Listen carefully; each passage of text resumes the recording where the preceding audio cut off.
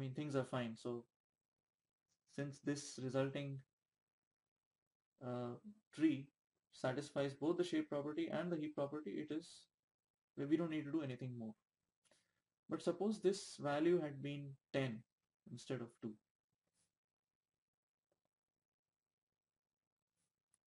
Okay, so if this had been 10, then we would have destroyed the heap property in this particular region of the heap. Now, do you see a simple way by which we can restore the heap property here?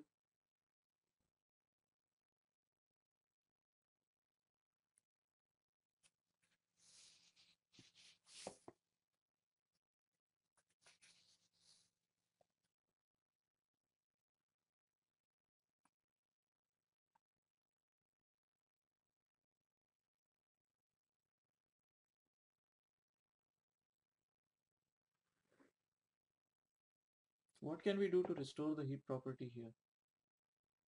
Can we do some simple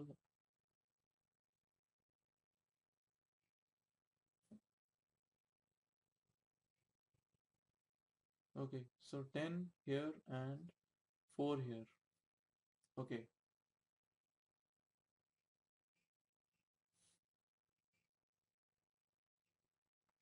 Okay, yeah, that's right. So basically we can keep on bubbling up this node until it reaches a location where the heap property is satisfied with respect to its parent. In this case, 10 is the largest element overall. So it, it'll bubble up all the way up to the top. If you recall, you know, the largest element is found at the top. So that's what is going to happen. If this had been, so I mean, if, if, if, instead of 10, if this had been say 7, then 7 would have gotten bubbled up. So um, let me do it separately. 5, 1, 3, and now we add a 7 here. Now the heap property is destroyed here because 4 is less than 7 now the value of the parent in a max heap needs to be greater than equal to the value of both these children. So if we swap this element with 4, this becomes 7 and this becomes 4. Note that because when we swap it, the value of this node is has increased. The heap property between this node and its left child will not change. That will continue to be maintained because we are replacing it only with something larger than it. Right? So the uh, the heap property will be maintained with respect to the other uh, child.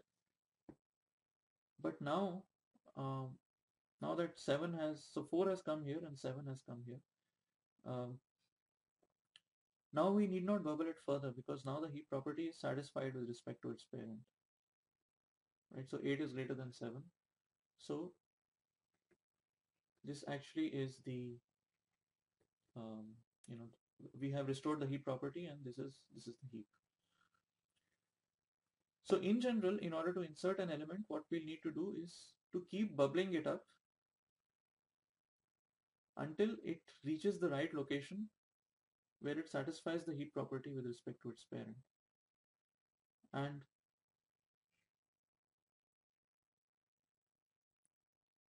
yeah, I think so insertion is pretty, should be pretty simple from this.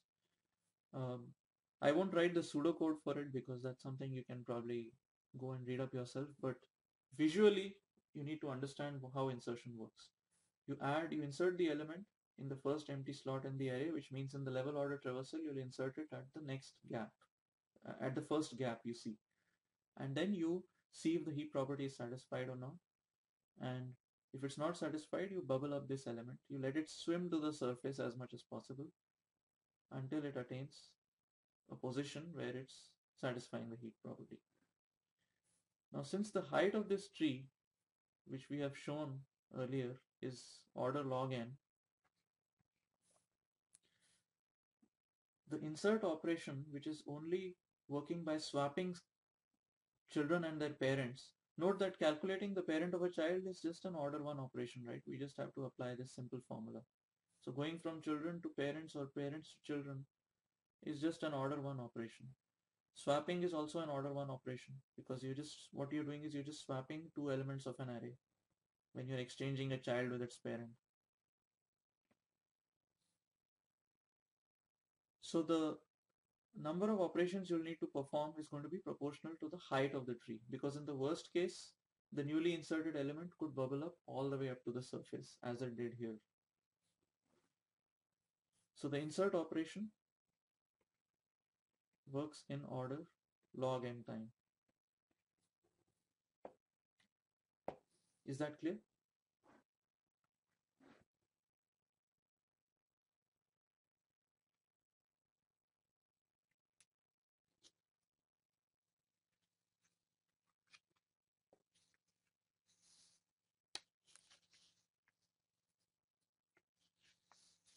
Yeah.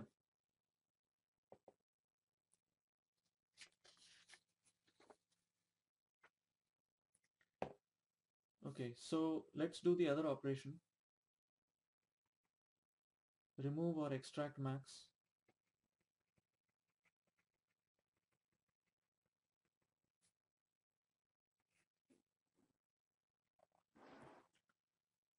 So let's see, 864513.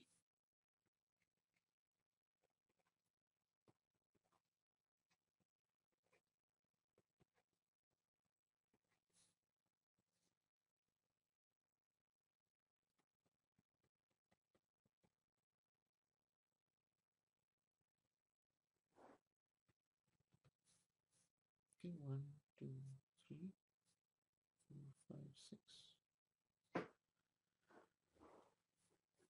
Now we want to remove the largest element of the heap. Now we know where the largest element is found. It's found at the root. So we want to remove this uh, 8.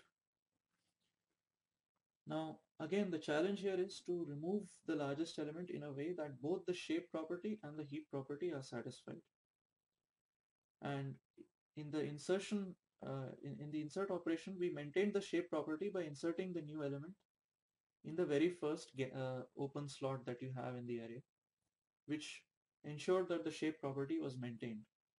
So can you think of an analogous trick you could use here to delete this 8 in such a way that the shape property is, uh, is that the shape property still holds.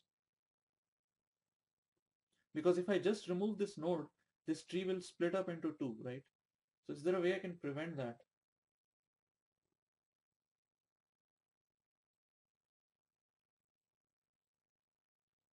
Hmm.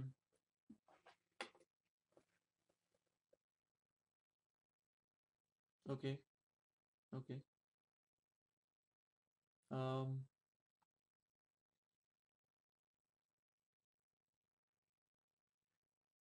hmm.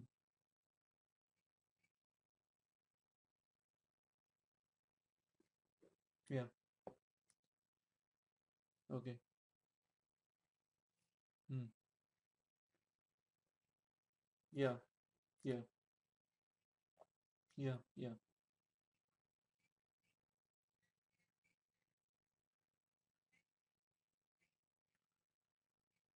Okay. Okay. That's right. So, um, yeah, so this is actually the right trick to use here. I know that I have to delete this element 8 anyway, but in order to maintain the shape property, so if I had deleted an element, this element over here, that would have maintained the shape property, right? Because then I would be just deleting this element here. So my boundary would just shift left by one. Now I want to do that actually here. I want to ensure that I can do something like that here so that my shape property is going to be maintained. So one easy way to do that is to remove this 8 from here. But instead of having an empty slot here, why not have an empty slot here by moving this element over here? So if I replace this 8 by a 3, then I'll be shifting this boundary over here and now my shape property is maintained because now I have 3, 6, 4, 5, 1 so if I replace this by 3, I'm going to have 3, 6, 4, 5, 1. But my heap property is no longer satisfied now because this element 3 is smaller than both of its children. So I need to now do something to ensure that this light element, this element with a smaller value somehow sinks down to its right place. In the insert operation, it was the other way around. I mean, we had we had a heavy element here at the bottom which needed to swim up to the surface because the heaviest element should be at the top and lighter element should be at the bottom. So this is a light element with a small value and it's at the top. So we need to sink